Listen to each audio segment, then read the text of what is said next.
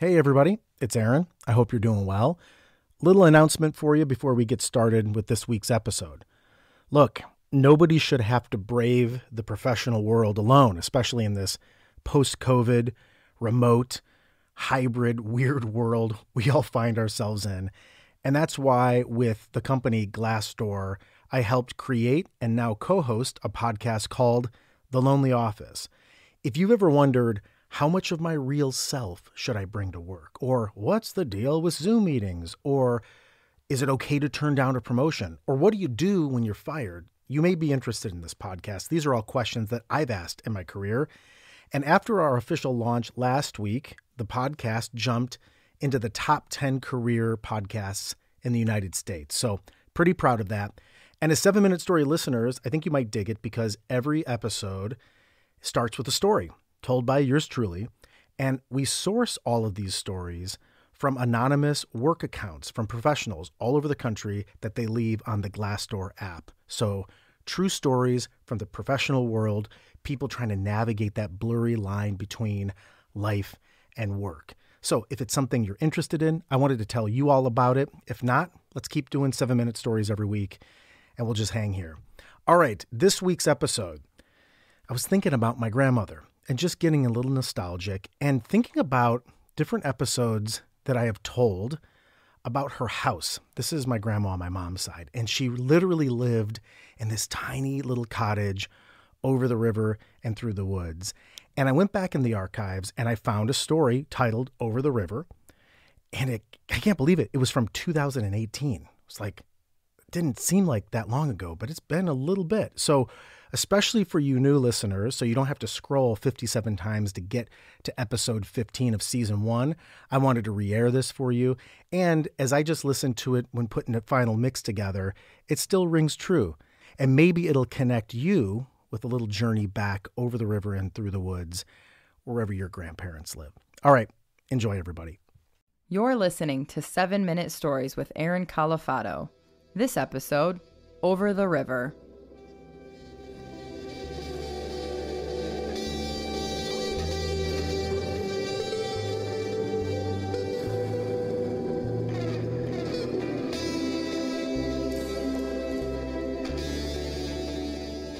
I don't know if I like the way that I look at the world now better than the way I looked at it as a kid, the way that I perceived it.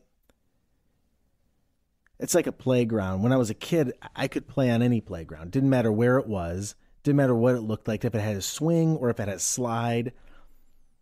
I could glean something from that. I could create an experience out of nothing.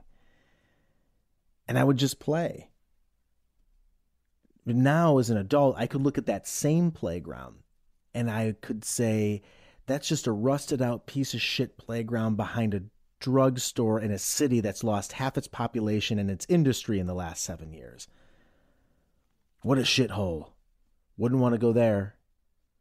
And you know, maybe that would be true. Because I know better now, right? Reminds me when I would go to my grandmother's house in the summer, and I've talked about her in some of these stories.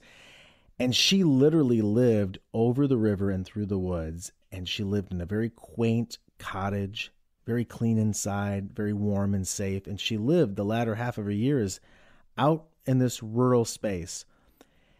And she lived on a gravel road. And, and if you kept going down this gravel road, there was probably 10 to 15 other houses, but they weren't really houses. Some of them were on slabs, some of them were shacks and shanties.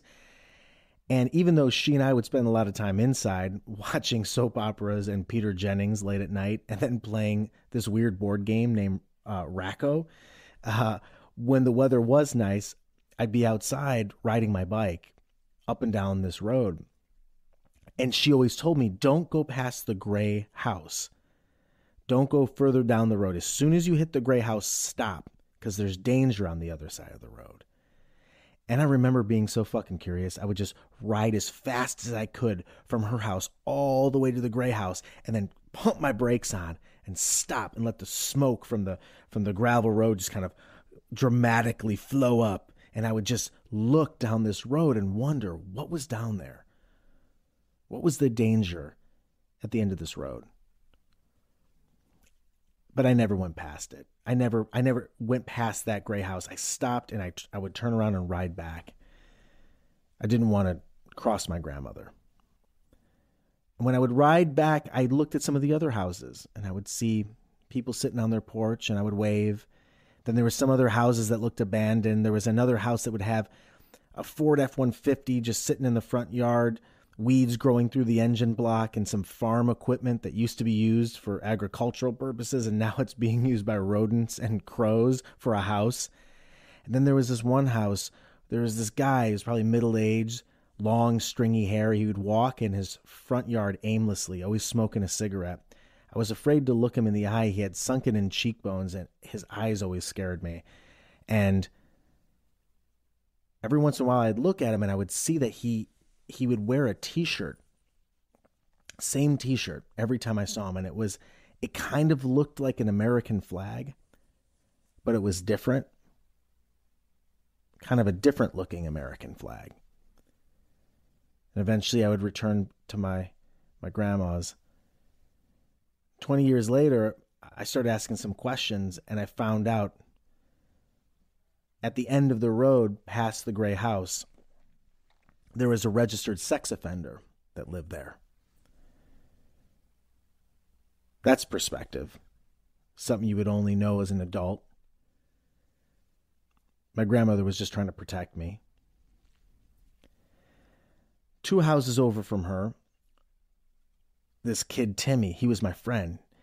He lived there and and and we would always play outside, never really inside, always outside and always in the yard pretending to be knights or soldiers and we would emulate our favorite action stars like Steven Seagal or Jean Claude Van Damme and we would do karate moves on each other until we actually hit each other and then we would cry and then we would laugh and then we'd do it all again. He was a really sweet kid. He was good to me. And I remember he had sandy blonde hair, he had a he had these dimples and his great laugh and his shirts never went over his belly. Either they were too small or he was just chunky, but they would never go over his belly. And we were just kids. It was summertime. One day he invited me over his house, and I had never been inside. So I asked my grandmother, and she was hesitant, but she said, Go ahead. And walked over to the house, and when we walked inside, I could tell it was just different. Right away, the smell hit me. And it just it just smelled off. It smelled bad, but I didn't want to say anything to my to my friend. And we walked in and there was cats everywhere and there was like shit on the ground from the cats, clothes piled up. Walked into the kitchen, there's dishes piled in the sink.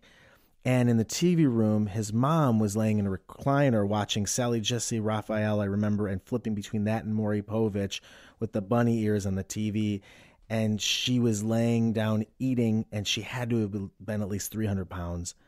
It, it, it reminded me of a movie I just saw called What's Eating Gilbert Grape. But his mom was nice enough, and she would say, You kids have fun. we did.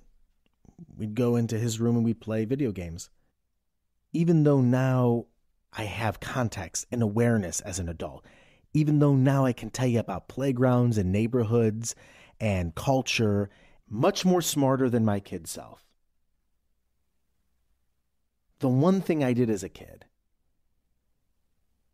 and that I hope carries through as I continue to get older, and I hope I don't lose, is that I always put personhood above circumstance. And maybe that was just because I was a stupid kid. But I don't think it takes a genius to know that that is noble. And that's worth aspiring to.